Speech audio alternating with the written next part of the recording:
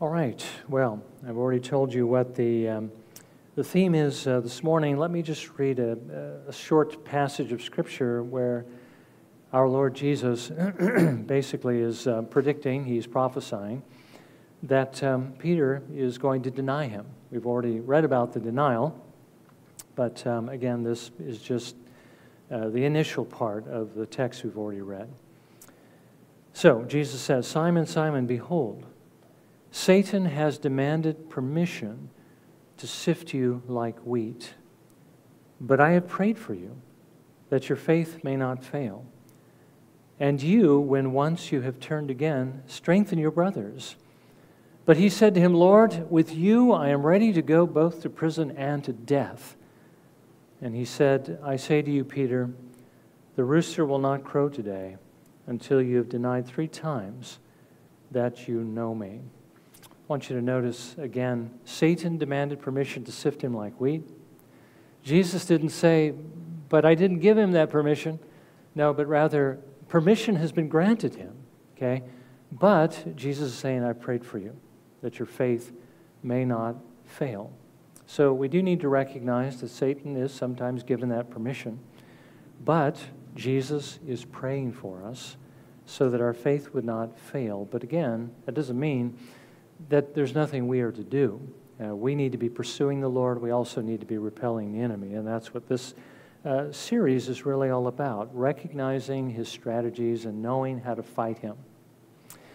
So, we've noted in this series thus far that the main weapon the devil uses against us is deception. Now, some of you are familiar with Dr. John Gerstner. You know, I think uh, he's the one that, that really uh, got me interested in Jonathan Edwards. Jonathan Edwards is the one who kind of nourished Gerstner's understanding of a number of areas of theology. But I think we understand that Gerstner also nurtured R.C. Sproul, his understanding. Uh, he was one of R.C. Sproul's seminary professors. He eventually became um, his mentor and later, as you know, a teacher at, at Ligonier. Well, he wrote a three volume work on the, what's called the rational biblical theology of Jonathan Edwards. And he asked this question How does the devil go about his devilish ways? And he answers in this way He blinds and deceives. The very darkness of this world comes from the darkness of the bottomless pit. Now, the way that he blinds and deceives is by implanting ideas in our minds. So he says this he suggests thoughts such as casting oneself from the temple, taking the census, betraying Christ, as well as forwarding men's natural lusts. And then the question arises well, how does he do that? How does he implant these ideas in the mind? And he, he answers in this way how all this is done cannot be certainly determined. But Edwards makes a number of suggestions, and really, here's two from Edwards. First, by working on the humors of the body. Now, that, that's kind of a strange uh, uh, statement.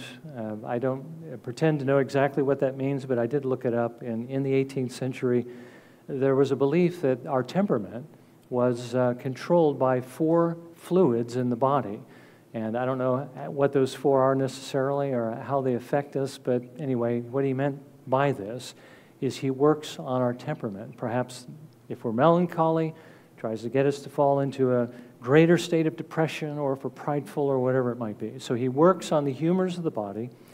And secondly, by making impressions on the imagination of the pleasures of sin and the like, or wrong impressions of the injury they will receive in the service of virtue, etc. Now, what Edwards basically summarizes in those couple of statements, Brooks has been unpacking for us, but I want you to see this one part that the devil has the ability to affect us. He has the ability to introduce ideas. He can work on our imaginations. And I know that we all know that, okay? Because if we're Christians, we've experienced that. The devil is trying to get us to think about things we shouldn't be thinking about, and he's trying to you know, stir up those sinful affections in us to go after those things.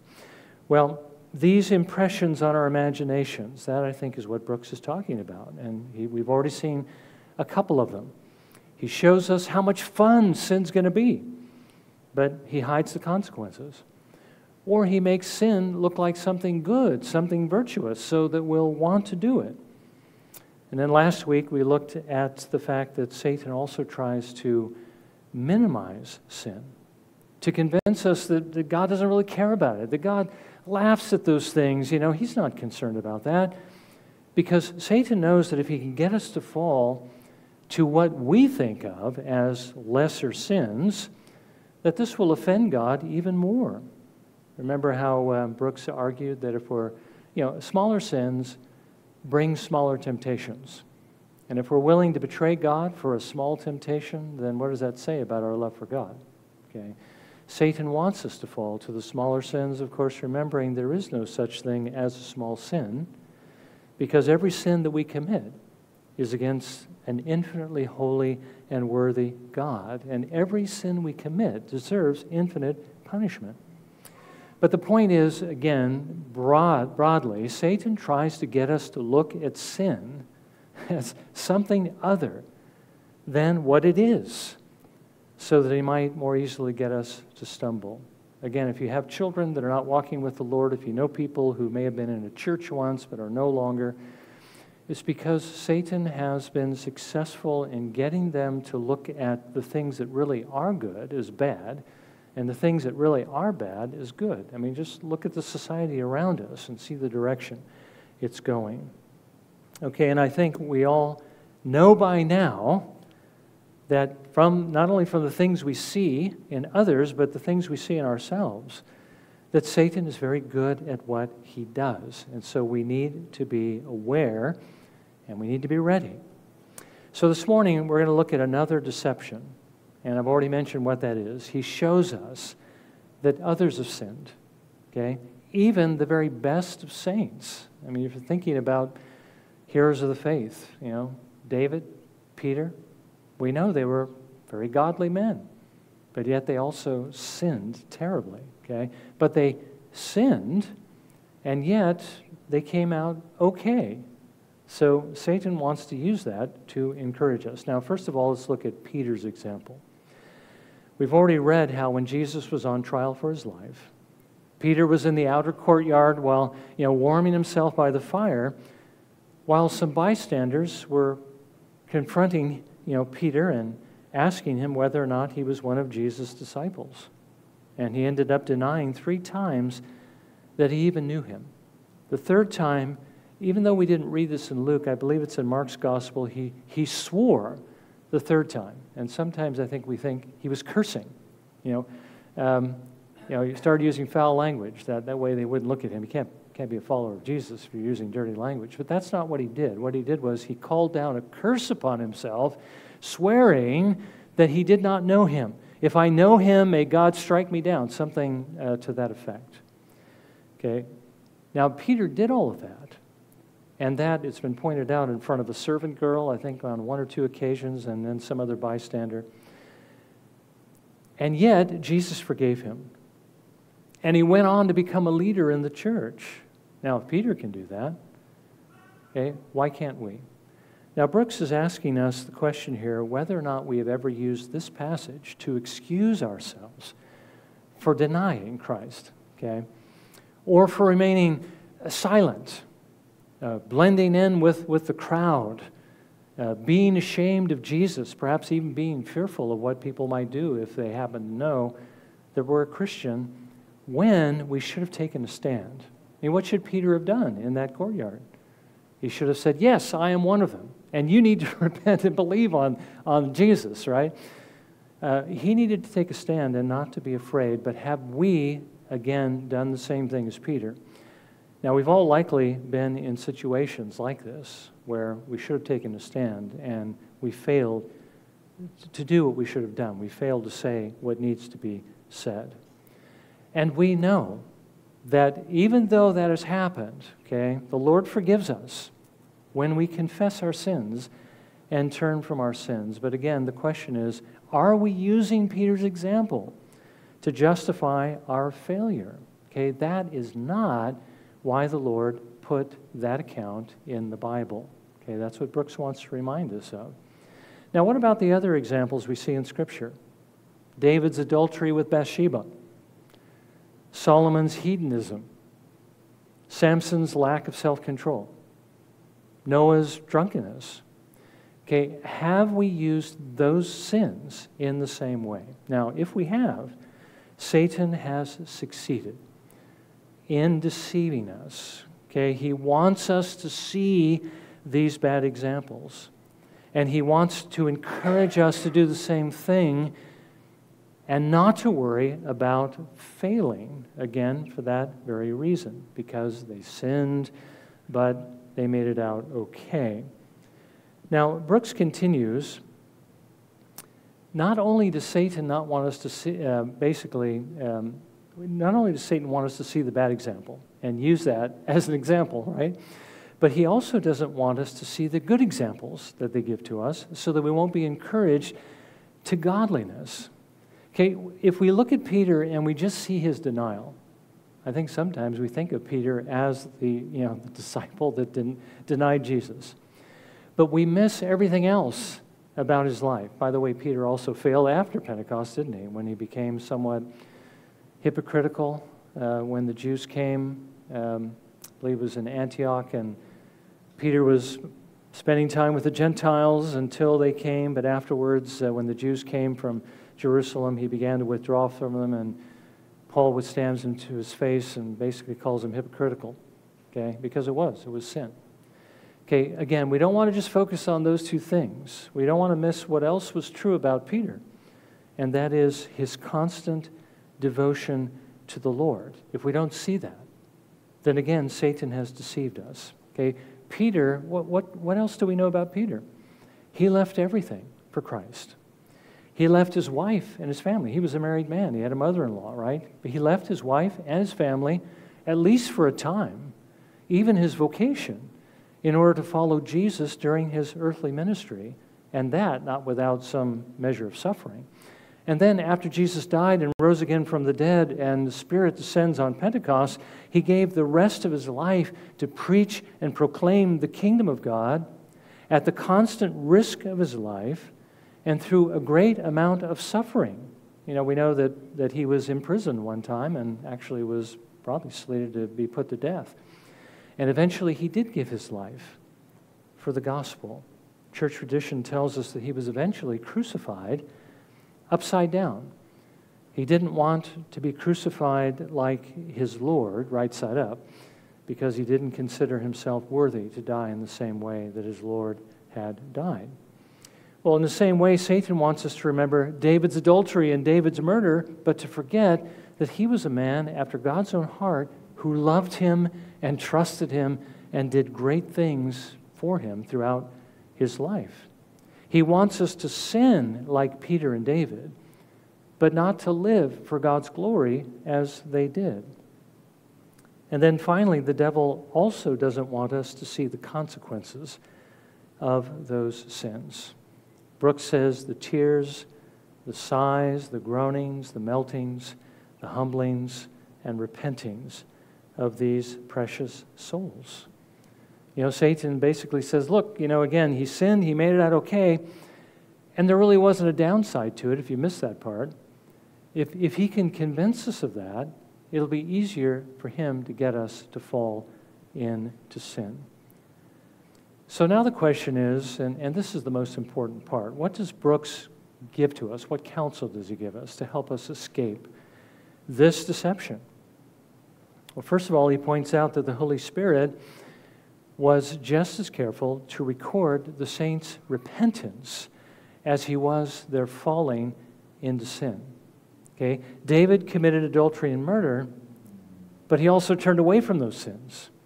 He writes in Psalm 32, verse 5 I acknowledged my sin to you, and my iniquity I did not hide. I said, I will confess my transgressions to the Lord, and you forgave the guilt of my sin.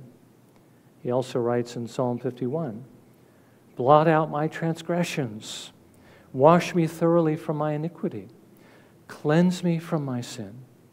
For I acknowledge my transgressions, and my sin is ever before me.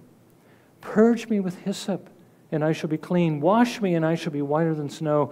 Deliver me from blood guiltiness, O God, the God of my salvation. I think you understand that word blood guiltiness means being guilty of the blood or the death or the murder of some other person. So he's pleading for God to forgive him here of murder. Okay? David sinned, but he repented. Uh, Peter denied the Lord, but he also repented. Remember that we read in Luke 22, 61 and 62, that when he denied him the third time, the Lord turned. Apparently, that inner room Jesus was in had an open window, and Jesus could see Peter in the courtyard from there. The Lord turned and looked at Peter. And Peter remembered the word of the Lord, how he had told him, Before a rooster crows today, you will deny me three times. And he went out and wept bitterly. I think it's interesting that um, Jesus was engaged with what was going on inside, and yet he knew the, the third time Peter had denied him on the outside, though it's certain he could not have heard him, right? But he knew it, and he looked at Peter at that very moment, and Peter realized what he had done, and he wept bitterly. Clement of Rome, who lived, uh, I think his life perhaps overlapped that of Peter, wrote this that Peter so repented that all his life after, every night when he heard the cock crow, he would fall upon his knees and, weeping bitterly, would beg pardon of his sin. Now, you know, when we do confess our sins and ask for the Lord's forgiveness, we turn from our sins, God does forgive us, but the shame of that sin follows us for the rest of our lives. And we remember those things, and the Lord wants us to remember them to humble us, not to shame us, but to humble us. And Peter was definitely humbled over what he had done. Brooks writes this Ah, souls, you can easily sin as the saints, but can you repent with the saints? Many can sin with David and Peter that cannot repent with David and Peter, and so must perish forever. Now, he reminds us here that if we sin and we don't repent, then we really don't know the Lord. Okay? So we must also repent. Okay? There's, there is the committing of the sin, but remember, there is also, in a true saint, the repenting of the sin. Now, that this second point follows. Second, saints do not continue in sin. Okay? They do repent. But the point is here that the pattern of their lives, the practice of their lives is not sin, but it's righteousness. Okay? So sin is not the pattern. They resist it, he says, and only occasionally fell into sin. I've already read for you what John writes in 1 John 3, verse 9. No one who is born of God practices sin. And what he means by that is not that they don't sin, and not that they don't sin frequently, and not that they don't fall into the same sin even many times in a day. But what he means by that is no one who is born of God actually gives himself without resistance to sin, practices it lustily, so to speak. Okay, Brooks writes this The saints cannot sin with a whole will, but as it were, with a half will, an unwillingness, not with a full consent, but with a dissenting consent. Augustine writes this that, that um, though there is sin in the regenerate, yet it does not reign over them. They rise by repentance. Okay? When we fall into sin, you know, we will fall into it, but we will not do it without some measure of resistance. Okay? And then, of course, as we've seen in the first point, we will repent of it. Now, thirdly, though God doesn't put us out of the family for his for our sins, that is, out of the, he doesn't disown us. He doesn't, um, you know, he's adopted us through Christ. He doesn't now then just throw us out as orphans again. Even though he doesn't do that, he does discipline us. Sometimes he disciplines us severely. Now, again, remember the sin that David committed was pretty serious, you know, uh, adultery and murder. David writes this in Psalm 51, verse 8 Make me to hear joy and gladness. Let the bones which you have broken rejoice. You see, God's discipline to David felt like he was breaking his bones. It was not a light and easy thing. And I think you understand, too, that his sins not only had consequences on his subjective feeling of his relationship with the Lord, but it also had consequences on his house.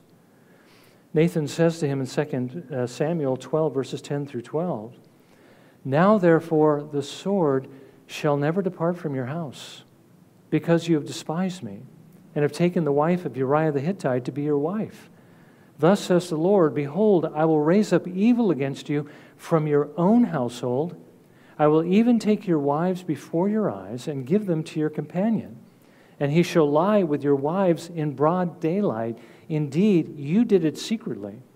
But I will do this thing before all Israel and under the sun. By the way, when um, David repented, his sins were forgiven. But do you know that the Lord still did this to him? Uh, there were sons that fought against the other sons. Uh, Absalom was killed, not Absalom, but Amnon was killed by Absalom.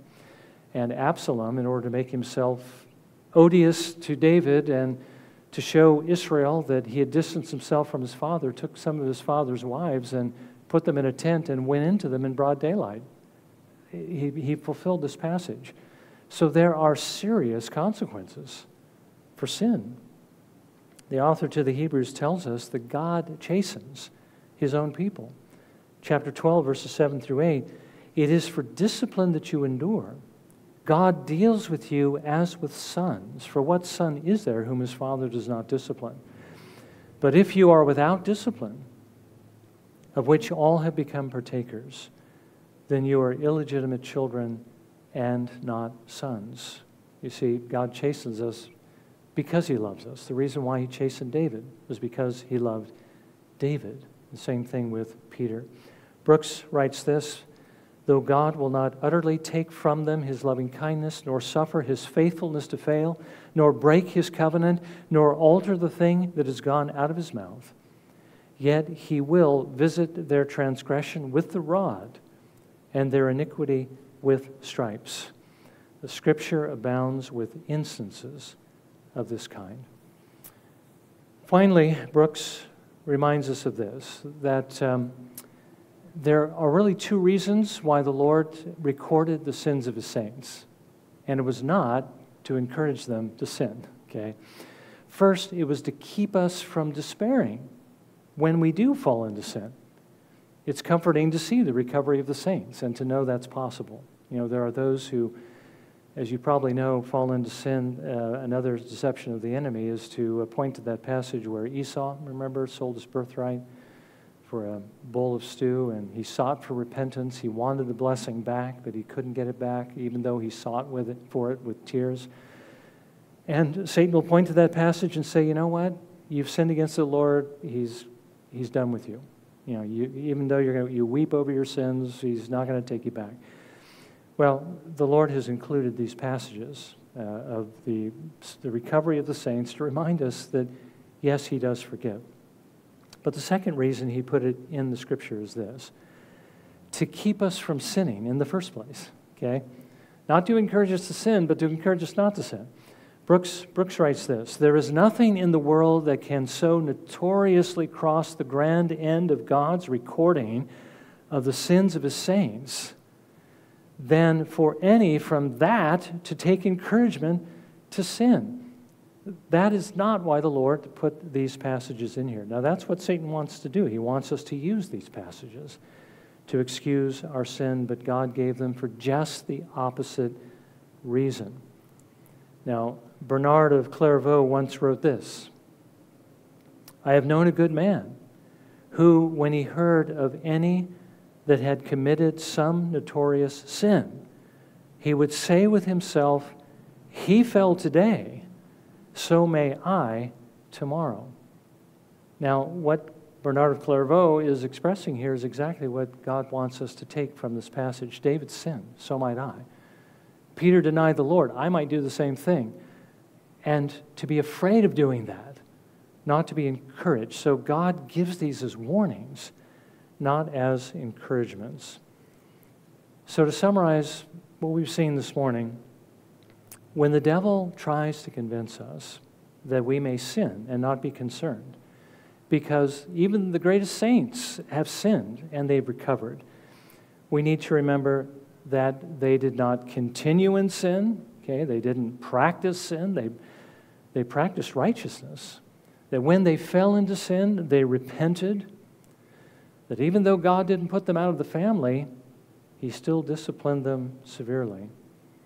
And that God put these accounts in His Word not to encourage us to sin, but not to sin, but also to show us that there is hope when we do fall into sin.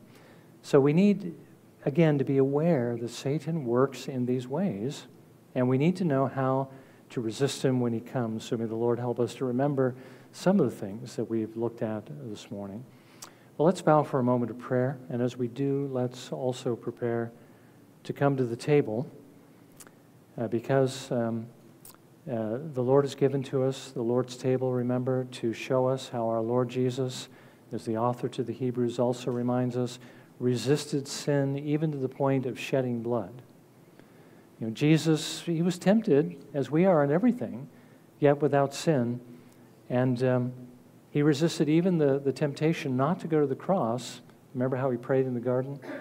Um, if it's possible, let this cup pass from me. I mean, Jesus was a human being.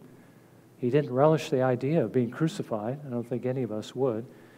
But we need to remember, too, it wasn't just the crucifixion, but it was the laying of our sins on him and enduring God's wrath on the cross. He didn't relish the idea of doing that either. Edwards has a sermon where uh, he talks about you know the passage where Jesus is praying and he looks ahead into the fiery furnace. Jesus descends into hell on the cross. He experiences the wrath of God, and as he's praying and asking if it's possible this cup might pass, he begins uh, sweating, as it were, great drops of blood which shows that he was under a great deal of duress because of what was ahead of him. But he resisted even to the point of shedding blood. I'm not sure if it was the blood from the duress or certainly the blood of the cross in his resisting sin. Okay? That's what the table reminds us of, and Christ, our Lord Jesus, gives us grace to be strengthened in this area uh, by remembering what he has done, but by also communicating to us the help of His Holy Spirit. So let's prepare ourselves uh, to receive what He has for us this morning in just a few moments of prayer.